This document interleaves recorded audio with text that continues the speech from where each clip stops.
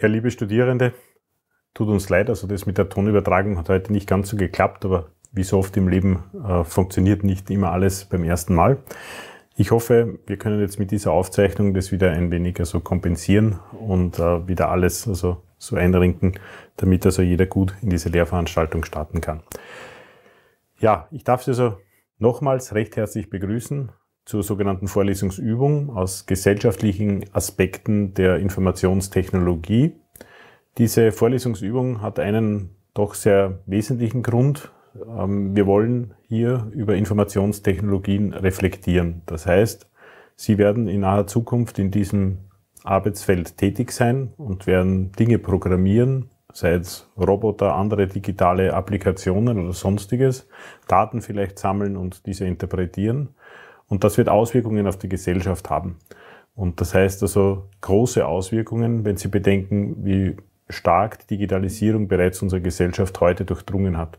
Und wenn wir in Zukunft über selbstfahrende Autos sprechen, über Roboter, die vielleicht also ähm, Dinge immer mehr automatisieren, dann bedarf es Regelungen oder auch Ideen, wie man dann damit in der Gesellschaft umgehen wird. Viele sprechen von einer großen digitalen Revolution, Industrie 4.0, Schule 4.0, das sind alle Schlagworte dieser Zeit. Und es gilt also da auch mit einem gewissen Abstand darüber nachzudenken, wie sehr wir diese Dinge auch beeinflussen können, sollen und auch müssen. Das ist das Thema dieser Lehrveranstaltung. Und diese Lehrveranstaltung hat immer sehr viele Teilnehmer und Teilnehmerinnen, was mich natürlich sehr freut. Und wir haben ähm, begonnen, diese vor drei Jahren ins Internet zu bringen.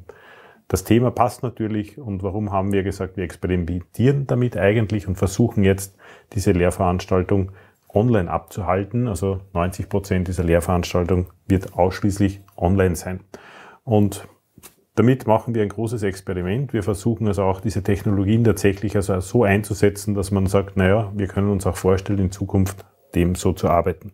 Vorab aber, damit Sie auch verstehen, wie das Ganze ablaufen wird, das ist also durchaus ein komplexes Szenario, möchte ich Ihnen alles im Detail erklären, sodass also hoffentlich keine äh, Missverständnisse entstehen und jeder sich gut zurechtfindet. Ähm, als erstes, ähm, die Lehrveranstaltung ist also im sogenannten neuen Teach Center unter cc.theograz.at abgebildet. Neu deswegen, weil sie ab seit diesem Montag ähm, alle Sommersemesterkurse dort drinnen abgebildet worden sind. Man loggt sich also hier ein über Single Sign-On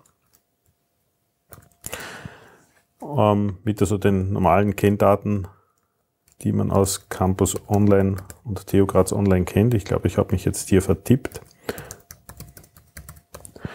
Und wenn Sie sich anmelden, dann kommen Sie auf das sogenannte Dashboard. Das Dashboard soll Ihnen eine Übersicht bieten. Die schaut bei mir als Lehrender so aus. Bei Ihnen sind hier unter meine Kurse jene Lehrveranstaltungen gelistet, die im Sommersemester stattfinden und zu denen Sie in Theograz Online eingeschrieben sind. Das heißt, wir automat also synchronisieren automatisch also die äh, Teilnehmer und Teilnehmerinnen. Sollten Sie eine Lehrveranstaltung des Sommersemesters hier nicht finden, dann ist es wahrscheinlich so, dass der Lehrende oder die Lehrende keinen Kurs im Teach Center für Sie anbietet. Das heißt also, auch dieser Fall muss gegeben sein. Sie sehen also alles, was im Sommersemester stattfindet, plus auch im Teach Center angelegt worden ist. Bei mir sind es natürlich die jene Lehrveranstaltungen, die ich selbst abhalte. Und da oben an der grünen Leiste sehen Sie auch noch, äh, was passiert ist mit den Wintersemesterkursen oder Lehrveranstaltungen. Diese sind noch im alten System. Wir haben also die Phase abgewartet, bis das Semester vorbei ist und diese werden jetzt so eben in das neue System transportiert, sodass wir guter Dinge sind, Ende April auch die Lehrveranstaltungen des Wintersemesters in dem neuen System zu haben. Und dann wird das alte natürlich abgeschaltet. Was Sie noch hier vorfinden, sind sogenannte universitätsweise Kurse. Das heißt, das sind alle jene Lehrveranstaltungen, zu denen Sie nur einen Theograz-Account brauchen und öffentliche Kurse, die also quasi öffentlich im Internet zur Verfügung stehen. Ich gehe jetzt hier auf gesellschaftliche Aspekte der Informationstechnologie dann wechseln Sie in eine Kursoberfläche. Die sollte immer wieder gleich ausschauen und das ist also jene für die gesellschaftlichen Aspekte hier. Und äh, zur Navigation sehen Sie ganz oben steht wieder Dashboard. Hier können Sie wieder drücken, dann geht das Ganze natürlich wieder in das Dashboard zurück. Und wesentlich ist, dass also jede Kursoberfläche möglichst einheitlich ausschaut. Die unterscheiden sich natürlich durch die Inhalte und durch diese Tools und äh, Applikationen, die also diese Lehrveranstaltung zusätzlich benötigt. Aber ansonsten soll es gleich sein. Wesentlich ist, dass diese Leiste hier oben gleich bleibt. Das ist also eine Shortcut-Leiste, die wir also extra so gemacht haben, damit Sie möglichst schnell äh, gewisse Dinge äh, sofort finden können. Ankündigungen, wenn ich hier draufklicke, ist das ehemalige schwarze Brett. Das heißt, hier kann der Lehrende äh, Nachrichten an Sie schreiben. Wenn Sie hier so draufklicken, dann sehen Sie heute den Eintrag hier, wie ich auch ähm, versucht habe, hier diesen Livestream anzukündigen. Ja, also damit ähm, vielleicht auch die Frage, wie ähm, merken Sie, dass eine neue Ankündigung gegeben hat, weil ja hier ein Klick notwendig ist. Also es wird hier durch ein kleines Badge angezeigt werden, zum Beispiel wenn Sie also seit dem letzten Login eine neue Ankündigung von mir dazugekommen ist, dann würde das über ein äh, kleines Badge hier visualisiert werden. Weiters, und das ist vielleicht auch ganz interessant, am Dashboard würden Sie auch hier unterhalb der Lehrveranstaltung sehen, dass zum Beispiel hier neue Forumsbeiträge oder neue Aktivitäten in dieser Lehrveranstaltung drinnen sind. Also so können Sie Übersicht wahren, ob irgendetwas zu passieren hat. Administrativ, ähm, hier finden Sie die äh, Teilnehmer und Teilnehmerinnen des Kurses. Wenn man also hier draufklickt, dann merken Sie, dass wir hier derzeit 390 äh, Personen sind, die also an dieser Lehrveranstaltung teilnehmen. Und unter Beschreibung, auf das gehe ich nachher ein, steht natürlich dann, wie diese Lehrveranstaltung abzulaufen hat. Arbeitsmaterialien, hier haben wir alle äh, Inhalte der Lehrveranstaltung gelistet. Hier können Sie also auswählen und alles, also wenn Sie so wollen, mit einem einzigen ZIP-File herunterladen, damit Sie möglichst schnell also zu den Inhalten kommen. Aktivitäten ist die Zusammenfassung äh, von allen Applikationen, die in dieser Lehrveranstaltung zur Verfügung stehen und wo eine Aktivität Ihrerseits gefordert ist. Bei uns sind das sogenannte Postfächer und in den Postfächer dürfen Sie dann Ihre Reports abgeben. Und wenig überraschend, der Bereich Kommunikation ist dann das Diskussionsforum oder wenn Sie so wollen, eine visuelle andere Art einer Newsgroup. Das hat jetzt nichts mit dem Newsserver der TU Graz zu tun, aber das ist das Forum für diese Lehrveranstaltung, wo wir Sie bitten, das eifrig zu nutzen, um untereinander zu diskutieren, beziehungsweise werden wir auch natürlich mitlesen und dort Fragen beantworten. Ich gehe also wieder auf die Hauptseite zurück und äh, diese schaut also bei Ihnen gleich aus. Das Einzige, das bei Ihnen anders ist, ist, dass diese Buttons Navigation und Einstellung nicht da sind. Die habe ich als Lehrender, damit ich natürlich also für diese Lehrveranstaltung, für diesen Kurs Dinge hochladen kann oder einstellen. Der nächste Punkt ist dann ähm, jener Teil, der administrativ heißt. Also hier haben wir versucht, alles zu listen, was notwendig ist, um eine Lehrveranstaltungsnote zu bekommen, äh, was natürlich sehr wichtig ist. Und ähm, ich gehe das jetzt der Reihe nach durch. Die Vorlesung selbst wurde immer so konzipiert, dass es eine sogenannte Vortragsreihe ist. Das liegt also ein bisschen daran, dass ähm, diese Fachgebiete, die der, wo die Digitalität die Gesellschaft also durchflutet, sehr, sehr breit gestreut sind. Und wir haben uns äh, sehr früh auch zu Beginn dieser Lehrveranstaltung 2007 äh, entschlossen, hier möglichst viele Expertinnen und Experten zusammenzutragen, sie zu bitten, aus ihren Perspektiven den Einfluss auf die Gesellschaft darzulegen. Und ich glaube, das macht auch den Reiz dieser Veranstaltung aus, dass wir also nicht versuchen, dass einer hier alles versucht zu erklären, das würde auch gar nicht so funktionieren, sondern dass wir versuchen, Personen zusammenzubringen und durchaus sehr kritisch ihr eigenes Fachgebiet zu durchleuchten. Und wir wollen halt wissen, was, welche Auswirkungen hat denn die Informatik auf die Gesellschaft? Also was passiert hier eigentlich und wie sollen wir dem Ganzen auch begegnen? Und ähm, wie ich also hier betont ist, also wird die Vorlesung und auch der Übungsteil zur Gänze oder fast zur Gänze online abgehalten. Das heißt, ähm, Sie werden mich also nicht so oft sehen, sondern also wir haben im Vorfeld Videos produziert, die Ihnen einfach zur Verfügung gestellt werden. Und eben mit einer einzigen Ausnahme, und zwar gibt es am 5.5.2017 um 8.15 Uhr in der Früh einen einzigen Präsenztermin. Der hat einen Grund und zwar ähm, gibt es, Sie dürfen Übungen erledigen und wir wollen Ihnen auch also eine direkte Rückmeldung zu den Übungen geben, um vielleicht also noch ähm, korrigierend zu wirken, was kann man besser machen oder noch ein bisschen verbessern. Und gleichzeitig äh, werde ich auch einen Vortrag dann direkt im Hörsaal halten und einen Input also dort geben und äh, mit Ihnen quasi auch persönlich da gerne auch in Kontakt treten. Das ist ein Novum, das haben wir in den letzten zwei Jahren so nicht gemacht, aber ich glaube, das ist ein sehr guter Schritt. Die Benotung. Wie kommen Sie zu einer Lehrveranstaltungsnote? Wie schließen Sie diese Lehrveranstaltung positiv ab? Das werden zwei Aspekte sein. Der erste, nachdem es eine Vorlesungsübung ist, müssen Sie, gibt es einen Vorlesungsteil und es gibt einen sogenannten Übungsteil. Beide sind positiv abzuschließen. Und der Vorlesungsteil, und das habe ich noch nicht erwähnt, wird als sogenannter MOOC geführt. Ich zeige Ihnen zum Schluss, wie Sie dazu kommen. Ein MOOC ist ein sogenannter Massive Open Online Course. Ähm, das ist eine Bewegung, die wir in den letzten drei, vier Jahren also auf der ganzen Welt mitgemacht haben. Und auch die TU Graz ähm, vereinzelt, also ein bisschen, also das auf dem Schirm hat. Und ähm, wir haben uns immer gedacht, also dass diese Vorlesung oder Vorlesungsübung sich durchaus sehr, sehr gut eignet, sich zu öffnen. Öffnen heißt, dass ich äh, durchaus möchte, dass die Gesellschaft da auch mitdiskutiert und partizipiert an den Inhalten, die wir ähm, hier bringen. Und daher haben wir die Idee geboren, vor zwei Jahren, das als sogenannten Massive Open Online Course anzubieten auf unserer TU Graz MOOC-Plattform. Ich zeige Ihnen das später. Und dort werden dann im Wochentag die Inhalte veröffentlicht. Und das ist der Vorlesungsteil. Und zu jedem dieser Vorlesungsteile gibt es dann immer einen sogenannten Self-Assessment, also jede Woche, den müssen Sie einfach bestehen. Der ist also nicht wirklich schwierig, sondern der soll eigentlich noch einmal ähm, reflektieren, was in den Videos gesehen ist. Und da haben Sie eine kleine Fragenrunde und das ist zu machen. Und da bekommen Sie also jede Woche sogenannten Self-Assessment, sind fünf bis sechs, sieben Fragen und äh, Sie müssen diese also positiv beantworten und zwar mit einer Erfolgsquote, wie hier steht, von 75 Prozent. Und wenn Sie alle Vorlesungswochen also mit 75 Prozent bestanden haben, bekommen Sie dort eine, eine Teilnahmebestätigung, die also quasi sagt, ja, Sie haben also die Self-Assessments also durchgeführt und das äh, reicht dann für den, Teil, den Vorlesungsteil, damit ist der also abgeschlossen. Ist, wenn Sie so wollen, eine schwache Anwesenheitskontrolle. Das ist eigentlich die Idee, dass sie sich diese Filme anschauen darüber nachdenken. Und das zweite ist dann eine schriftliche Ausarbeitung und zwar von vier kurzen Reports. Und in diesen vier kurzen Reports gibt es dann eben insgesamt also 200 ähm, Punkte. Das heißt, jeder Report ist 50 Punkte wert. Und wenn Sie 101 Punkte erreichen, auf den, dann haben Sie auch den Übungsteil positiv abgeschlossen.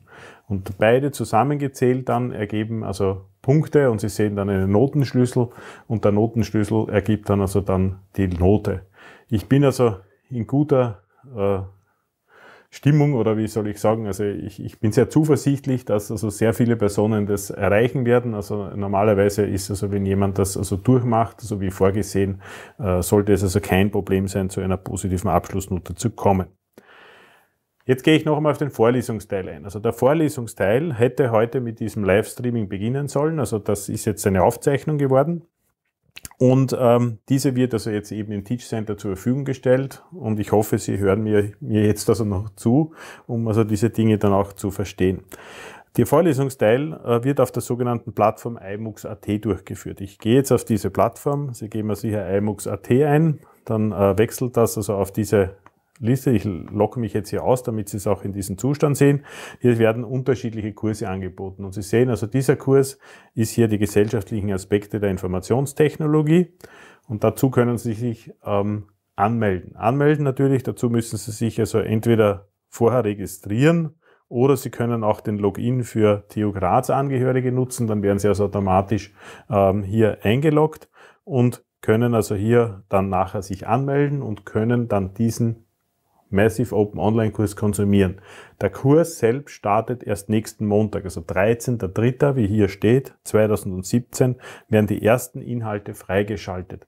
Und die Freischaltung der Inhalte erfolgt wochenweise, über zehn Wochen. Sie bekommen also jeden Montag über zehn Wochen lang Inhalte, die mindestens zwei Videos pro Woche sind, mit also einem kurzen Self-Assessment und wenn Sie wollen, also auch weiter vertiefenden äh, ähm, Links und PDFs, äh, wo Sie sich weiter einlesen können.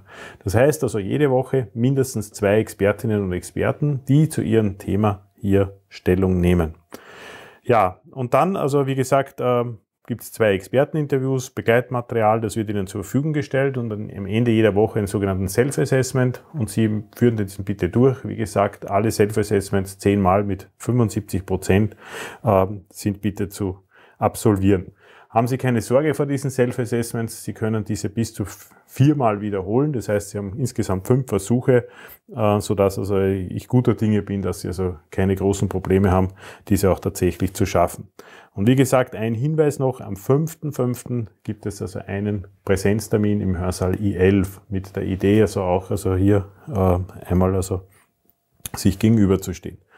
Der Übungsteil ähm, wie gesagt, soll dazu dienen, dass Sie sich jetzt Gedanken über diese Dinge machen, die Sie da hier hören und also auch ähm, vielleicht kritisch reflektieren, sich sagen, ja, mich interessiert ein besonderer Artikel im Internet, das hat mich immer schon ähm, besonders aufgeregt und Sie möchten dazu ein kleines Essay schreiben, wir nennen es Report, mit eben mindestens 1300 Wörtern, äh, die pro Report notwendig sind und ähm, diese vier Reports geben Sie dann ab und die werden nach Kriterien eben beurteilt.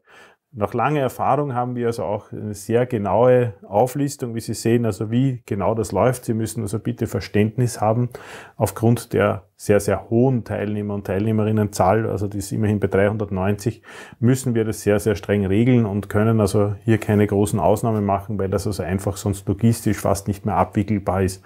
Also bitte um Nachsehen. Ähm, ich hoffe, Sie lesen sich das sehr genau durch. Also wir haben also sehr jahrelange Erfahrung damit und haben immer wieder versucht, es sehr, sehr genau festzulegen, so dass keine Missverständnisse bestehen und dass wirklich ganz klar definiert ist, ähm, wie das abzulaufen hat. Es wird also hier noch einmal gesagt, die maximalen Punkte. Sie können also 50 Punkte pro Report erreichen. Es wird auch gesagt, wie die Punkteverteilung ist. Das heißt also, Sie sehen also äh, Sprache, Stil, Rechtschreibung macht 12 Punkte aus, der Inhalt und die Schwerpunkte natürlich dann 24 Punkte. Sie haben also mindestens zwei Wochen Zeit, also pro Artikel. Ja, es gibt also eine genaue Terminisierung. Es gibt dann eine Namenskonvention, das heißt, also damit wir ganz genau wissen, von wem jetzt welcher Artikel kommt, bitten wir Sie, das PDF dann so bitte zu benennen. Ähm, Sie Bitte geben Sie also keine Matrikelnummern dort ab, das brauchen wir nicht, also wir wissen den Namen. Sie haben die Wortanzahl, wie gesagt, also ähm, wenn Sie jetzt also weniger Wörter schreiben, dann müssen wir alle Quoten natürlich, also die Punkte dementsprechend abziehen.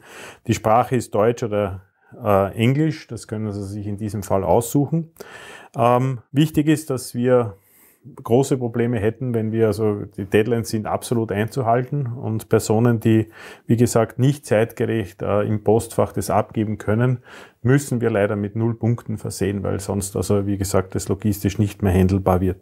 Und wir behalten uns vor, ähm, dass wir bei Verdacht, sage ich immer, auch auf Plagiat prüfen. Das heißt also, wenn Sie bei uns ins Postfach abgeben, dann stimmen Sie einer etwaigen Plagiatsprüfung zu. Also äh, ich bitte Sie also halt nach guten wissenschaftlichen ähm, Zitierregeln zu arbeiten, äh, wörtliche Zitate tatsächlich als solche zu kennzeichnen und die Quelle dazu zu schreiben. Also es spricht überhaupt nichts dagegen, dass Sie gewisse Dinge zitieren, aber dann ist bitte wirklich die Zitierregel eben einzuhalten. Hier sehen Sie noch einmal die Termine, das heißt also, wann wir gern diese vier äh, Reports abgegeben haben. Und Sie müssen genau, also das dann ähm, im korrespondierenden Postfach 1, 2, 3 und 4 dementsprechend bitte abgeben. Und wie gesagt, das Postfach, das macht zu. Das heißt also, wir haben also keine Möglichkeit mehr danach irgendetwas zu akzeptieren. Ich lege Ihnen sehr ans Herzen, das ähm, einmal in Ruhe durchzulesen. Sollten Sie Fragen zu haben, etwas unmissverständlich, also formuliert sein, freuen wir uns auf Nachrichten im Forum. Diskutieren Sie das bitte mit uns. Ähm, wir sind nie gefeit vor irgendwelchen äh, Dingen, fehlerhaften Darstellungen oder sonstiges. Das heißt, also es ist auch in unserem Sinne, dass wir das bitte gut abklären können.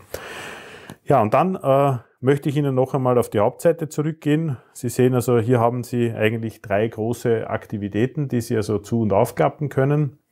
Ich habe hier noch einmal den Link zu iMux. Also Sie müssen jetzt ähm, das so sehen, der iMux-Teil ist der öffentliche Teil. Das heißt, die Vorlesungsteil ist die ganze Welt eingeladen, tatsächlich hier mitzumachen. Wir haben also in dem Teil ohne Sie jetzt eigentlich schon über 100 Personen angemeldet. Das heißt, die werden den Kurs einfach als Art Weiterbildung, weil das Interesse besteht, hier mitmachen und sich in dem dortigen Forum durchaus auch vielleicht inhaltlich einmischen. Also machen Sie mit, nutzen Sie diese Chance, dass hier also Personen drin sind, denen das Thema tatsächlich wichtig ist und die vielleicht uns andere Blickwinkeln auf das Thema bringen. Und wie gesagt, der Kurs, also dieser, dieser IMOX-Kurs wird nächsten Montag freigeschalten und ist dann, wie gesagt, wöchentlich kommen die neuen Inhalte dazu. Die Übungsaktivitäten, also das ist die IMOX-Plattform, was ich sagen wollte, und das Teach Center ist das, wie wir dann die Lehrveranstaltungen an sich abwickeln. Das heißt, wir agieren hier mit äh, zwei verschiedenen Plattformen. Und die Übungsaktivitäten hier sind einfach die vier Postfächer angegeben. Die Postfächer, die Sie bitte zu den angegebenen Terminen Ihre Reports abgeben damit wir uns das anschauen können. Und das Archiv ist etwas, was zum Schmökern da ist. Das heißt, wir führen also, wie Sie sehen, also die Vorlesungen immerhin jetzt schon seit 2008. Und ähm, Sie können sich gerne anschauen, was wir 2008 äh, diskutiert haben, welche Themen dort aktuell waren. Ich kann mich so an Second Life erinnern und Blogs sind aufgekommen und Wikis, äh, Themen, die heute also niemanden mehr hinter dem Ofen hervorlocken und wir damals also, also wirklich ähm, als sehr große, präsente Themen erlebt haben. Und da kann man sich also sehr historisch also auch vertiefen. Ja, ähm, ich wechsle noch einmal zu iMux. Äh, wie gesagt, das ist hier. Sie sehen also, ich kann mich hier so einfach einloggen und ich mache Ihnen das nochmal vor. Sagt der Login für Theo Graz Angehörige. Dann, wie gesagt, also werden Sie, wenn Sie mit Single Sign-On angelegt haben, im Hintergrund durchgeschalten. Sie können dann also auf den Kurs gehen. So, jetzt bin ich zu weit gegangen, zum Beispiel hier. Und äh, dann können Sie hier eben anmelden drücken. Sie sagen, warum Sie hier sind. Ähm, und dann steht da, Sie sind also zum Kurs angemeldet und ab 13.03. wird hier also eine Möglichkeit dastehen, also dass Sie tatsächlich in den Kurs hineinkommen.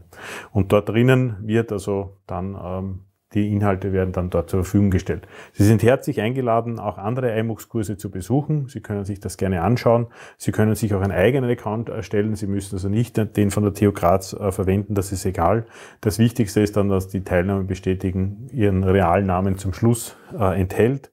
Und wenn Sie wissen, also wie das geht, weil Sie können bis dorthin also anonym äh, sein, dann gibt es eine FAQ dazu. Zum Beispiel also, ähm, äh, ups, jetzt muss ich nur schauen. Ähm, wie kann ich den Vor- und Nachname ändern, damit dies auf der Teilnahmebestätigung vermerkt wird? Das bräuchten wir halt äh, bitte, damit wir dann nachher sehen können, dass Sie das äh, ordentlich absolviert haben. Ja, ich glaube, ich habe also jetzt das Wesentliche durchbesprochen.